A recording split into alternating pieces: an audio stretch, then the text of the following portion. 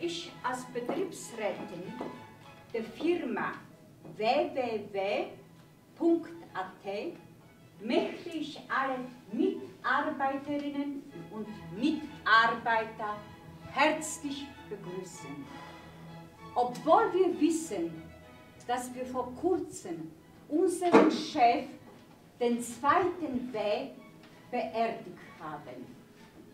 Das ist der Hauptgrund unseres Treffens heute, damit ich euch seinen Sohn, dritten W, vorstellen möchte, obwohl er ab und zu bei seinem Vater gearbeitet hatte, aber viel anwesend war er nicht.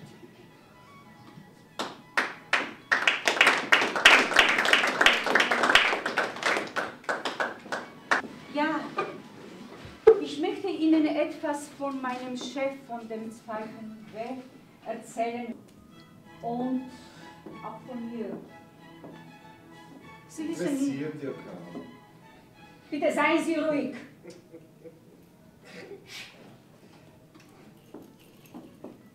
Sie wissen, ich stamme von Polen. Ich lebe 40 Jahre da. Als ich nach Wien kam, konnte ich überhaupt nicht Deutsch sprechen und musste ich in eine Fabrik arbeiten gehen. Es war noch nicht diese Fabrik von dem Vater von dem Bär. Ich habe dann Deutsch gelernt und zum Studieren angefangen und habe ich an der Wirtschaftsuniversität äh, mein Studium beendet und wollte ich eine Managerin werden. Eines Tages, ich glaube, hat viele Jahre ge gedauert, sehe ich eine Annonce in der Zeitung im Kurier, dass jemand eine Exportsachbearbeiterin sucht. Und das war der Vater von Herr W. Er hat mich telefonisch aufgenommen und am nächsten Tag habe ich zum Arbeiten begonnen. Er war sehr nett, er saß in dem gleichen Zimmer wie ich. Selbstverständlich gab es schon damals Computer, aber bei ihm nicht. Er hat auch keinen Manager gehabt. Er hat immer von Land zu Land gefahren und äh, ja, er hat mir Komplimente gemacht. Und eines Tages hat er zu mir gesagt, wir haben eine Dienstbesprechung, so wie heute. Ob ich dann mitkomme. Ich sagte ja. Ziehen Sie sich schön an, sagte er zu mir. Ich wollte schon von zu Hause weggehen und plötzlich steht er unten mit seinem schwarzen Mercedes. Und dann fuhren wir ins Drei Husaren. Vielleicht wollte er nicht flach legen. Okay, weiter erzähle ich nicht. Das ist meine Privatsache. Da möchte ich auch gerne jetzt den Manager vorstellen. Ich möchte in all meinem Beileid und natürlich auch dem jungen Mann ausdrücken. Ich weiß, dass äh, der alte Herr W., darf ich sagen, ein guter Firmenvater war. Ich habe auch meinen langjährigen Mentor verloren, aber ich hoffe, dass ich in seinem Sohn einen würdigen Nachfolger finden werde. Danke noch. Ja, war schon. Bitte. Wo ist die Frau Punkt? Na, vielleicht sitzt sie unterm Tisch Buchhalterin? und packt ihren Kram Ah. zusammen. Entschuldigung, die Sachen habe ich hier von der Frau Buchhalterin. Die Frau Punkt ist indisponiert. Ja, wo ist sie? Bei einer Feier oder bei einem Freier? Machen Sie keine Späße, Herr B. und Herr T. Wir sind bei einer Besprechung, nicht beim Zirkusvorstellung. Ich glaube, dass Frauen und Fische was gemeinsam haben. Nämlich Schweigen. So geht es nicht, Herr B., dass Sie jetzt Chef geworden sind. Sagt noch nichts. Heute sind Sie da, morgen vielleicht nicht mehr. Bravo! Wer zuletzt lacht, lacht am besten. Ich freue mich, wenn Sie bald in Pension gehen. Naja, Zeit wird's. Freuen Sie sich nicht zu früh. Am Abend wird Ihnen vielleicht das Lachen vergehen. Der hat nichts zu lachen, der wird bald weinen. So wie ich. Frau Kollegin, haben Sie Probleme? Herr Kollege, bitte, für Probleme ist die Firma nicht zuständig. Rufen Sie auf die Kummernummer an. Bitte um Ruhe! So geht es nicht, sonst kommen wir zu nichts. Zu was soll man denn kommen? Ne? Wir sitzen eh schon da. Bin zum Essen gekommen. Wo Nicht ist nur, es? Nicht nur zum Essen, sondern zum Besprechen. Aber wenn Sie unbedingt essen wollen, bitte, können Sie helfen. Aber das ist doch eine Diskriminierung der Arbeiterklasse. Und wir bekommen dann die Abfälle und die feinen Herrschaften kriegen die Salate. Tja, Verzeihen Sie bitte, das habe ich nicht bemerkt. Ich, will mich ja nicht in das Privatleben von Herrn W. einmischen. Aber ist die Dame da daneben, die auch den Salat bekommen hat, vielleicht seine Hallo? Geliebte? Ha, da schau her. Also, Entschuldigung, aber das ist wirklich ein Blödsinn. Ich bin deine Freundin. Sollen wir Platz tauschen? Na, sagst du vielleicht auch einmal was? Hallo? Dass jetzt schon die Weiber beginnen zu regieren. Ich bin den ganzen Tag dann habe ich nichts gegessen. Also Entschuldigung, äh, ich bin zwar hier neu, ich möchte mich jetzt nicht einmischen, aber ich glaube, wir sollten uns den Tatsachen hier stellen. Ich habe hier einiges zum Vorliegen. naja, sicher, meine Kunst, meine Kunst können sich alle anschauen. Verstecken Sie lieber Ihren Mist. Was Mist? Ja, Wissen Sie wie, überhaupt, wer ich bin? ich weiß es. Ein Taugenix. Also mir, na, mir reicht's jetzt, sorry, tut mir leid. Jetzt wieder hin. Wer hat, die- wer hat die wahnsinnig da eingestellt? Vater. Naja, hallo? Zehn Minuten bleiben wir noch, dann gehen wir. Bitte. Fahren Sie fort, Herr Doktor, ab. Ja. Wirklich. Was ist das? Das ist die Frau Punkt, unsere alte Buchhalterin. Hat sie heute Geburtstag? Nein, äh, sie lässt sie alle schön grüßen. Sie sei in Kapstadt und sie kommt wieder, wenn es wärmer ist. Punkt. Den Rest, äh, die restlichen Rechnungen schicke ich mit der Post und hier ist eine Rechnung über Wie viel? 3000 Euro. Ist sie verrückt? Hat sie einen ausstehenden Urlaub? Ich habe sie dorthin geschickt. Ja, eigentlich sollte ich fahren, aber ich habe das abgelehnt, weil ich äh, diese Arbeit so nicht machen will. Ja, super, mir hat wieder kein Schwein gefragt, ob ich nach Kapstadt wie um Hummer zum Fressen. Also jetzt krieg ich gleich wirklich Appetit. Nee, ich Ja, auch. Aber bei 200 Euro Lohn im Monat? Ja, was soll ich sagen? Ich bekomme 400 Euro im Monat und es für zwei oder drei. Ja, genau das meine ich. Ich, ich bekomme auch nicht mehr, ne? Ich habe etwas mehr zusammen durch die Alimente für die Zwillinge. Aber für, die, für das dritte bekomme ich nichts. Hm? Und was schaust du mir dabei so an? Ja, es ist dein Kind. Mich hat er auch geschwängert, das ist so ein Arschloch. Bei mir das probiert, aber ich habe ihn nicht reingelassen. Sag, dass das nicht stimmt. Los, sag was! Ist das wahr? Ja, Arschloch. Wollen die Weiber von mir? Die wollen alle nicht Geld. Die wollen nur- die wollen nur mehr Geld und wollen mehr fressen. Also ich rieche da was anderes hier. Also ich habe heute noch kein Gras geraucht. Hallo. Es ist schlimmer, als ich dachte. Also, ich glaube, wir müssen zuerst das Private regeln und dann das Geschäftliche. Herr Doktor. Ja. Sie fangen an? Ich fange zuerst an. Ah! Du Depper! Blöde Kuh! Was fällt dir ein? Ein Vaterschaftstest. Für dein und mein Kind. Und für meinen ungeborenen Sohn. Du Arschloch, du machst mich hier so! Ich bin schwanger, ich bekomme ein Kind von... Ja! Ey! Bin Sie ist zwei Monate schwanger. Was hat sie mir gesagt? Lauter, lauter Wahnsinnig in der Firma oder wie? Ich brauche ihm keine Haare auszureißen. Ich habe nämlich die Sektgläser ausgetauscht, nachdem er Schlaftabletten hineingemischt hat. Dann hat er geschlafen und ich habe die 200-Euro-Rechnung aus dem Lokal aus, sein, aus seiner Tasche bezahlt.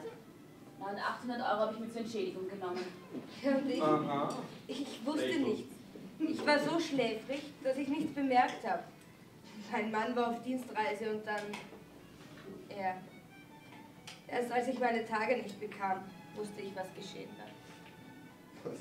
Das. Kind ist von W. Das geht hier vor. Bei mir war es ähnlich, nur ich habe nicht so viel getrunken. Er hat mich auf Händen in seine Wohnung getragen und er hat kein Licht angeschaltet. Es kam mir komisch vor und da war ich plötzlich hellwach. Ich wollte weglaufen. Ich, ich rutschte aber auf den Marmortreppen aus und dann, dann weiß ich nichts mehr. Und als ich wieder zu mir kam, da war mein weißes Kleid voll Blut. Das Schwein hat mich nicht mal ins Spital gebracht.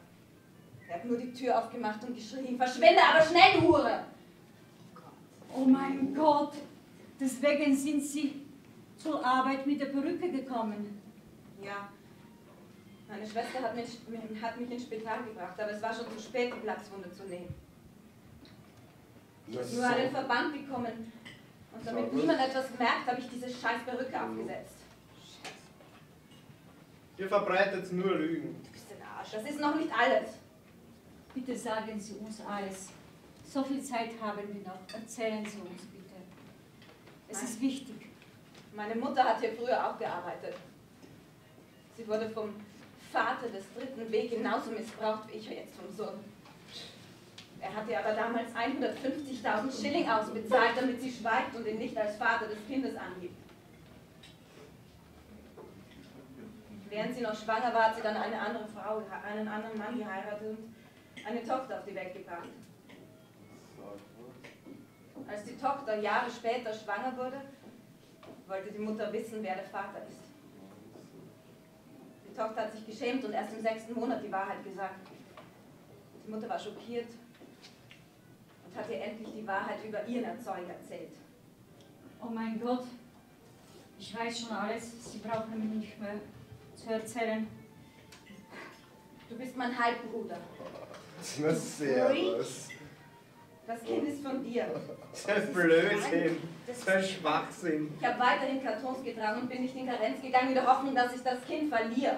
Geh. Ein Scheißdreck, du kannst niemals meine Schwester sein, ja?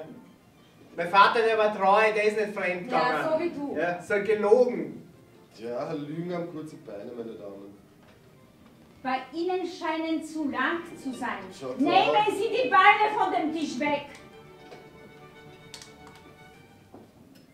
Es ist eine Tragödie. Ich weiß es. Aber bitte, vielleicht finden wir irgendwie eine Lösung. Es wird alles gut. Können Sie dann bei der Besprechung noch bleiben? Und dann fahren wir ins Spital. In wievielten Monat sind Sie schwanger? Frau Kollegin, übrigens, ich mache, was ich will. Schließlich bin ich mit der Familie W. verwandt. Und wenn er Herr W. mal stirbt oder eingesperrt wird, Na hey, bitte. ja, man muss immer vom Schlimmsten ausgehen. Dann gehört die Firma mir. Ich glaube nicht mehr. Ja? Rechtlich ist das schon richtig. Ja? Aber wenn nur ein Quäntchen davon ist, was Ihnen jetzt vorgeworfen wird, bitte nehmen Sie Stellung, dann. Ihr sagt was, lasst das nicht Alles gefallen. gelogen und, und ich werde schon mit meinem Anwalt Ja. drüber reden.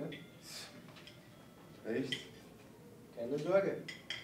Bitte fangen wir mit dem. Geschäftlichen an. wollen. Lesen Sie mir bitte die Ist-Stand von heute vor. Wurde mir verboten. Wer hat Ihnen verboten? Warum? Wenn du jetzt dein Maul aufmachst, sind deine 6000 Euro im Monat futsch. Tja, wunderbar, dann übernehme ich die Funktionen. Hab's Doppelte. Gut. Bei allem, was ich jetzt gehört habe, wenn da nur etwas dran ist, sehe ich das Erbe meines Mentors gefährdet und halte mich. Ich bin moralisch nicht mehr gebunden an unser Abkommen. Bitte sagen Sie die Wahrheit. Wie ist dieser Ist-Stand von Momentan haben 2010? wir eine Million Schulden und Was? es gibt kein, keine Rücklagen. Es tut mir leid, Ihnen sagen zu müssen, dass ich hierher gekommen bin aus Kapstadt, um diese Firma aufzulösen und in Kapstadt sie neu aufzubauen. Um sie alle zu kündigen, bis auf Frau Punkt und den Herrn Grafiker. Und mich auch. Ist doch nicht. Ja, auch Sie. Ja, aber ich kann das nicht machen, es tut mir leid. Ich komme auch aus einer Arbeiterfamilie. Meine Eltern haben hart gearbeitet, um dass ich studieren konnte. Er war oft arbeitslos, meine Mutter war Taglöhnerin. Schon wir als Kinder mussten Schuhe putzen, im Feld arbeiten. Ich weiß, was es heißt, zu arbeiten und nicht nur äh, ja, Erbe verschleudern, was Sie jetzt gerade. Hallo, lass, lass, lass du das. Die Arbeiter verdienen hier 600 Euro, die Frauen nur 400 bei dieser schweren Arbeit. Es gibt keine Computer. keine technischen Einrichtungen. Und ich sollte für diese Scheißkarten und für diese Unterlagen... Hallo, noch ein Wort und- Ja, was noch und? Mir reicht's. Brauchen wir am Montag gar nicht wiederkommen. Das werde ich auch nicht. Ich habe mir ein paar Notizen vor der Sitzung gemacht. Und ich glaube, dass Sie, ich habe gehört, dass Sie an der Wirtschaftsuni studiert haben. Ja. Und jetzt haben Sie die Doktortitel auch bekommen. Ja. Und suchen Sie bestimmt eine Stelle. Natürlich, ja. Würden Sie unter anderen Umständen die Firma übernehmen? Die Firma führen? Ja, unter anderen Umständen schon, ja. Ich bevorzuge die Frauen. Die Frauen sollen auf die Spitzenpositionen kommen. Servus. Bitte lesen Sie mir, weil ich bin schon so auseinander, lesen Sie das alles vor. bitte. So versteht man auf wenigstens was. Also, Mann, Mann, Mann. erstens, niemand wird gekündigt. Im Gegenteil. Es werden neue Angestellte und Arbeiterinnen aufgenommen. Zweitens, die letzte Villa der Familie W., die sich in Hongkong befindet, und das Privatflugzeug werden verkauft und das Geld wird auf das Firmenkonto überwiesen. Hallo, woher wissen Sie das?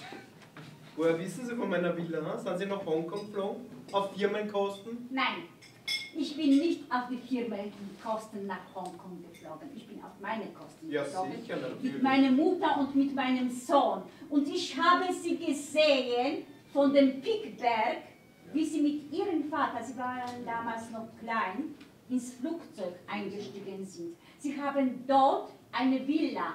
Das ist nicht die einzige Villa. Und sie leben immer auf Kosten der Firma.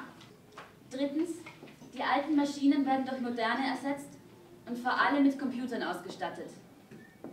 Viertens, es wird ein Ruheraum, ein Hort für die Kinder der Angestellten sowie eine Kantine, wo man zum Unkostenbeitrag konsumieren kann, eröffnet. Fünftens, die Arbeitszeit beginnt für alle um 8 Uhr früh statt um 6 Uhr. Sechstens, die Mütter, die Schulkinder haben, werden um 9 mit der Arbeit beginnen können. Siebtens, die Gehälter werden angeglichen, sodass es nicht mehr zu geschlechtsspezifischen Einkommensunterschieden kommt. Alle Geschlechter werden das gleiche Gehalt erhalten.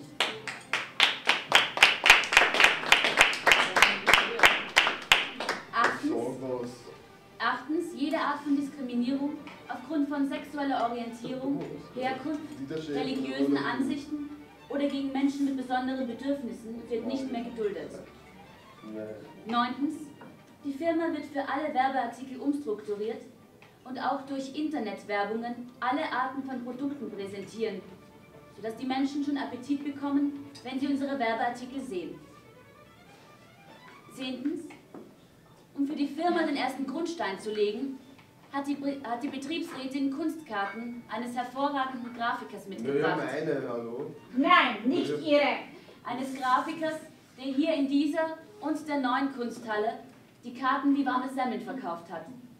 Schauen Sie sich die Karten an und wenn sie Ihnen gefallen, werfen Sie einen Euro in das Glas, äh, nehmen Sie sich eine Karte und verschicken Sie sie an Ihre Bekannten und Verwandten. Bitte schön. Was ich noch sagen wollte, Herr West, dass Sie ein Alkoholiker sind. Nur für diese Sitzung nur Wein bestellt. Nicht alle Mitarbeiterinnen und Mitarbeiter Wein trinken. Jetzt müssen wir die Leitungswasser geben.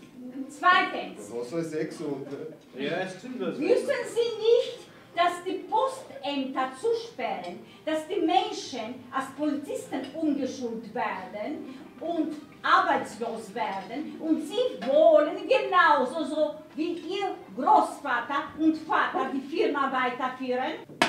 Das Offizielle ist beschlossen. Ich habe Ihnen nicht die ganze Wahrheit gesagt. Als ich mit dem Vater W. im Edenball war, er war so nett zu mir, dass ich mich auf den ersten Blick verliebt habe. Plötzlich hat er sich verändert um 180 Grad und wollte mich vergewaltigen. Es war mir schlecht nach dem Alkohol. Außerdem, ich wollte so nicht. Ich wollte schon ihn haben, aber nicht auf diese Art, wie er das gemacht hatte. Ich wollte weglaufen und bin ich auf die scheiße Marmortreppe runtergefallen. Ungefähr nach drei Wochen erfuhr ich, dass ich schwanger bin. Ich habe ihn angerufen und habe ihm gesagt, er hat mir genauso 150.000 Schilling vorgeschlagen wie der Mutter von Frau B. Aber ich habe gesagt, nein, das nehme ich nicht an. Ich will das Kind nicht haben. Ich kann das Kind nicht erhalten. Ich habe schon einen Sohn. Ich bin ständig arbeitslos, ich bin ständig diskriminiert. Ich kann das Kind nicht bekommen. Du musst mir das Geld für Abtreibung geben. Er hat nichts geantwortet und dann nach ein paar Stunden ist zu mir nach Hause gekommen mit einem Anwalt. Er war sehr nett, so wie in dem Lokal. Und hat mir die Wahrheit gesagt, dass er eine Tochter hat mit einer Mitarbeiterin und er möchte und dass er sehr krank ist, hat Krebs. Und wenn er stirbt, dass die Tochter ein Drittel von der Firma Einteil bekommt, ein Drittel ich, wenn ich die Firma weiterführe und dass ich das Kind bekomme, weil seine Frau kann keine Kinder bekommen. Eigentlich wollte ich das Kind nicht abtreiben. Und er hat mir vorgeschlagen, dass das alles wird geregelt und ich kann jeden Tag das Kind anschauen. Ich kann als Babysitter bei ihm arbeiten, wenn ich will. Und wenn das Kind 14 Jahre alt ist, wird er dann die Wahrheit sagen dem Kind und das Kind kann sich entscheiden, bei wem er bleiben will. Ich dürfte aber das Kind nicht in Österreich bekommen. Ich müsste ausreisen. Da ich Spanisch damals gelernt habe, bin ich nach Spanien gefahren, nach Madrid. Er hat mit 3000 Schilling umgerechnet im Monat gegeben. Das hat gerade die Pension Valeria in der Nähe von José Antonio gekostet. Ich habe eine Arbeit gefunden in einer Imbissstube beim Plaza Mayor habe ich ab 18 bis 24 Uhr gearbeitet. Am Tag habe ich studiert Spanisch. Ich wusste nicht einmal, wann ich ein Kind bekomme, weil ich niemand, niemals beim Arzt war. Und dann bekam ich Schmerzen. Die wollten dann die Rettung anrufen, aber ich sagte, nein, nein, das Wasser ist schon weg. Ich kann nicht, ja, ich bekomme gleich das Kind. Ich habe ganz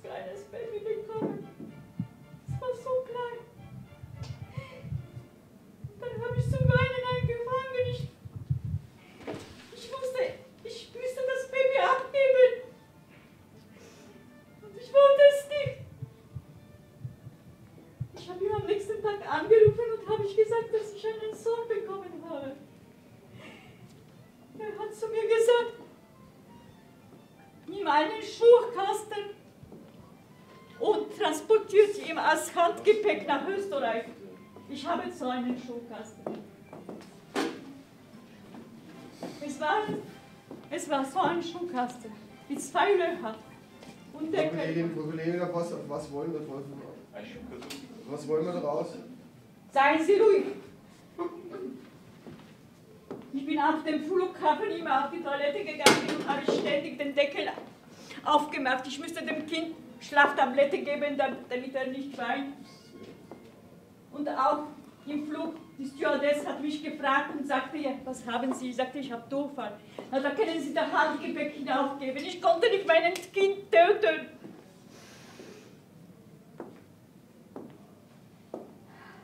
Er hat das Kind abgeholt mit dem schwarzen Mercedes. Ich musste noch etwas unterschreiben. Ich bin dann den Bus reingegangen und bis zum Hilton gefahren und dann zu Fuß nach Hause durch den Park. Habe ich ganze Zeit geweint. Du bist mein Sohn, wer? Ich bin deine Mutter. Ich liebe dich. Deswegen habe ich mich immer um dich gekümmert. Dass du jetzt, aber du bist genauso wie dein Vater. Dein Vater hat alle Frauen vergewaltigt und du machst das genauso. Du hast, Blödsinn! du hast nichts von mir bekommen. Nichts. Du kannst nicht meine Mutter sein, ja? Ich bin deine Mutter, du kannst das nachgeben. Scheißdreck! Das ist sehr Sie bekommen Schmerzen. Die sind nicht schlecht. Es ist hier schlecht. Du bist ja heute echt. Gibt es einen Arzt hier oder eine Ärztin?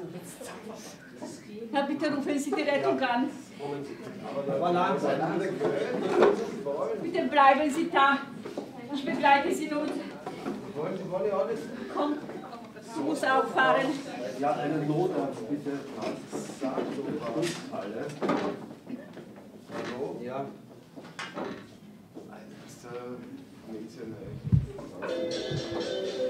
Okay, danke. Danke.